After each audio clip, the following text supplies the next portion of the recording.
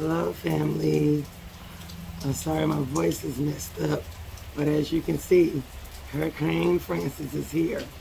But what I really came up on the channel for to let you know that I will be starting in October for the new pressure canning series of everything in my pressure can that I have grown and what I have in my freezer.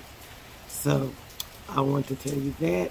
And secondly, I also want to thank everyone for all the birthday wishes. I really do appreciate it. And I'm just grateful to God that I was able to see another year. So let's continue on throughout the year and enjoy this year. And y'all have yourself a wonderful and blessed day. Bye-bye.